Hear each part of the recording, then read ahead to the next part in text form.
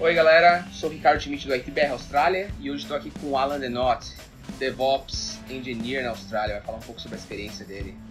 Fala galera.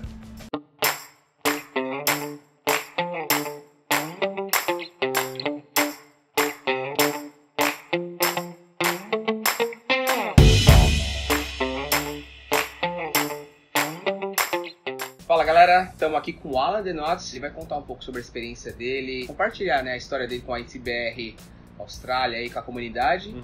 Então a primeira pergunta que eu tenho para você, Alan, é fala um pouco aí sobre a sua história. Quanto tempo você está na Austrália? Então, eu tô na Austrália há sete anos. Eu me formei na faculdade em 2008 e eu sempre tive essa ideia da Austrália desde as Olimpíadas de do- 2000. Eu, vi, eu via ah, na TV, eu achei, pô, esse país maravilhoso e tal. Nem, não preciso vender a Austrália aqui, acho que a Austrália já tá bem vendida. Mas eu sempre fiquei com essa ideia na minha cabeça. Então, quando deu 2008, no auge da crise financeira, não tinha emprego, eu me formei e falei, ah, nem vou tentar arrumar emprego aqui. Te- Cheguei a tentar, mas não, não tava rolando nada no Brasil. E eu falei, bom, então vou, vou para estudar inglês, passar lá três meses, aí eu aproveito e conheço a Austrália. Ah, vejo se realmente é tudo que eu, que eu imaginava. E, e também não vou perder tempo, vou estudar inglês. Eu já fiz o curso focado em IELTS, porque eu pensei, se eu decidir ficar ou se eu decidir estudar, é, eu já vou ter uma preparação para o IELTS, que já é importante. Então, é, foi isso que eu fiz. Eu vim aqui em 2008, no final de 2008, passei três meses, estudei, viajei. Eu, vim- eu fui para Brisbane, na verdade. A- adorei o lugar, mas acabei voltando. Que hoje eu vejo que foi meio um erro, né? Eu deveria ter tentado ficar aqui e é, arrumar um emprego e tal, porque vocês sabem como é que era o lance de visto, né? Uhum. As portas vão fechando. Naquela Sim. época, em 2008, ainda era muito aberto. Eu podia ter arrumado o visto muito mais tranquilamente. Então, eu acabei voltando pro, pro Brasil, arrumei um emprego como analista de segurança lá, trabalhei por um ano, foi- gostei muito, foi uma experiência muito boa. E, mas fiquei com aquela pulga atrás da orelha, né? falei, agora não tem jeito, depois que você vem, tem, que- tem que vir pra ficar. Mas você mandou bem, se você É. chegou hoje, você tá com cidadania, você pegou cidadania faz quanto tempo? Fazem dois É, anos? já faz uns dois anos, é, e já na segunda vez que eu vim. Aí quando eu vim a segunda vez, em 2010, é, eu falei, bom, é, uma coisa que eu sempre quis fazer foi um mestrado. Por que não, né? Vim pra cá, já faço um mestrado Uhum. internacional, melhoro o inglês, e eu achava que ia aumentar minhas chances de arrumar emprego, visto, que realmente ajudou bastante.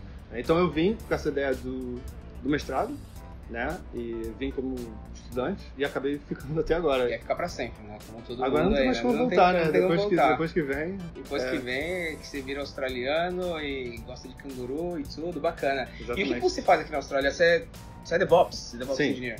Então, a gente trabalha junto, eu, ah, na empresa chamada Mason. Cheguei aqui, ah, no meio do meu mestrado, acabei arrumando um estágio, é, mas foi como PHP Developer. Uhum. né? Acho que muita gente também. Uh, PHP. PHP é... é, Já Ah, fui lá também. já, todo mundo já passou por isso, né? Não, não, não adianta ter vergonha, né?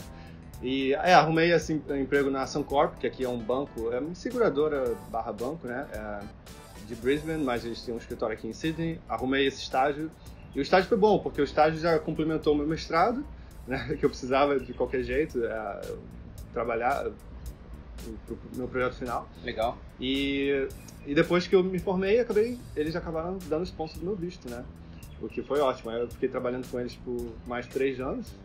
Quando saiu meu PR, ainda fiquei mais um tempo, acho que mais seis meses, um ano. Aí foi quando eu já estava mudando para DevOps, né? Já no final, quando eu estava trabalhando na Suncorp, já tinha uns projetos de nuvem e tal, eu já eu falei, bom, vou tentar me, Legal. me colocar nessa área e, e conseguir. E, yeah, aí ganhei um pouco de experiência, depois já fui DevOps, DevOps. Mas você- manda muito bem aí. Eu acho que você é um dos melhores DevOps que a gente tem aí na Muito Austrália. obrigado. E você obrigado. organizou vários meetups também. Sim, Ah. organizamos muito. projetos. E acho que isso ajudou bastante também, né? Na, você Sim. ampliar o seu network e também entrar na área de DevOps. Sim. Bem legal. É, é impressionante quando você começa a participar de meetups e principalmente organizar e apresentar o feedback que você tem. Até hoje, eu, eu tenho gente que, que me vem e fala: Ah, você é aquele cara que falava sobre Ansible e É. tal. É que você continua usando a camiseta do Enzo. Ah, né? ah, esqueci É. desse detalhe. Legal, É. bacana. Obrigado, Alan, por compartilhar seu conhecimento. A gente vai fazer mais alguns outros vídeos. Até a próxima, galera. Valeu!